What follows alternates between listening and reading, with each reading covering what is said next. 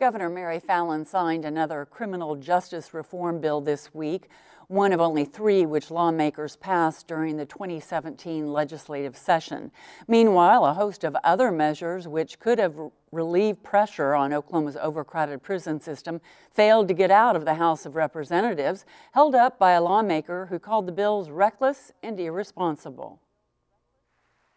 In addition to the budget, criminal justice reform was a focus for Governor Fallin when the legislative session began in February.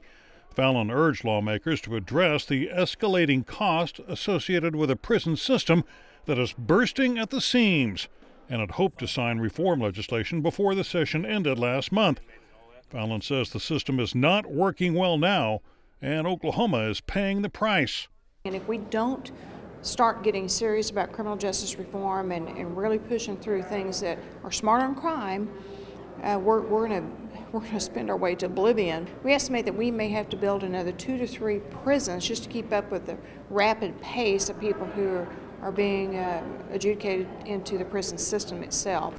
A report by the Oklahoma Justice Reform Task Force projects that without reform, Oklahoma's prison population will grow by 7,218 inmates by the year 2026, costing the state at least $1.2 billion to build or lease three new prisons, with an additional operating cost of $700 million over 10 years. Kris Steele is chair of Oklahomans for Criminal Justice Reform and a member of the task force.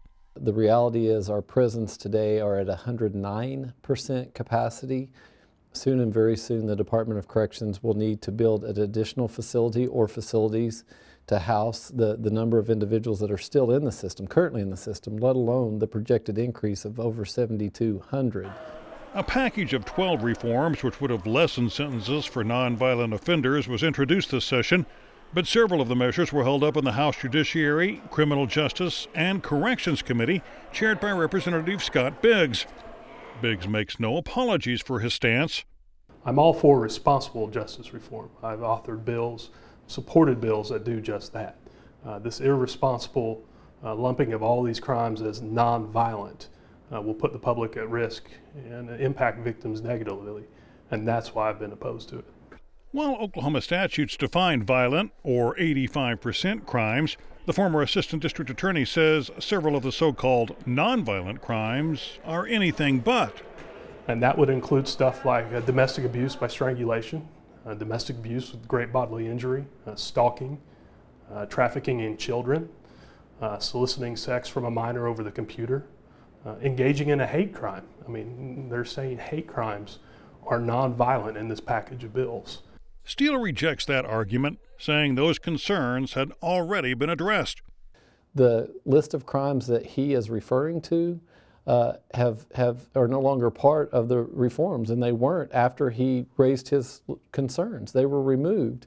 Governor Fallin says her office tried to keep the lines of communication with Representative Biggs open to make any changes deemed necessary.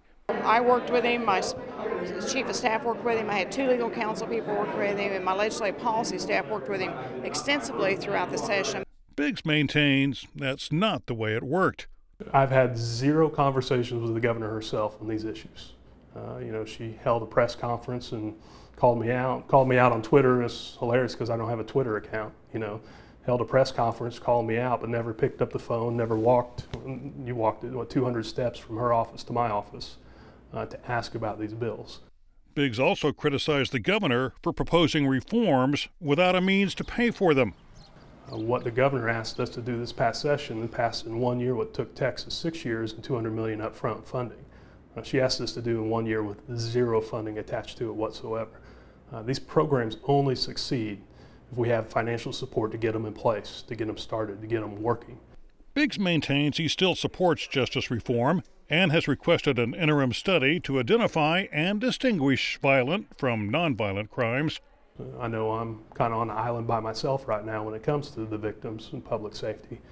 Uh, so I know there'll be difference of opinions. Uh, but we're going to let the public know, let everyone know what exactly is being defined as violent and nonviolent crimes. And that's what the study is going to show, and that's what I anticipate some of the bills reflecting uh, next session. American Civil Liberties Union of Oklahoma Executive Director Ryan Kiesel is not optimistic that will provide any tangible results. The studies have been conducted. The results are in. Bipartisan groups have given us the evidence that we need to begin to act now. These interim studies are delay tactics, plain and simple. That's all they are. And Kris Steele echoes those sentiments. I've served in the legislature, and my experience has been that interim studies are usually uh, political cover and not where serious policy research is being conducted. The reality is th- this issue has been studied to death. The House Speaker's office announced last week that bills which did not receive a vote will be worked on in the interim and brought back next year, calling criminal justice reform a priority for the legislature.